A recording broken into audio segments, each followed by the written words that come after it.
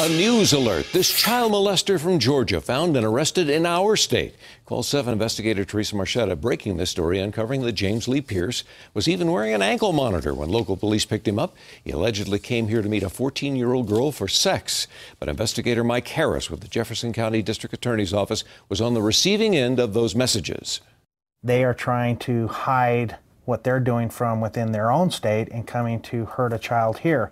And it's just not Mike Harris again that they're after. We've had real kids that have taken over their persona and arrested suspects who were coming to meet that child for sexual purposes, and that's scary.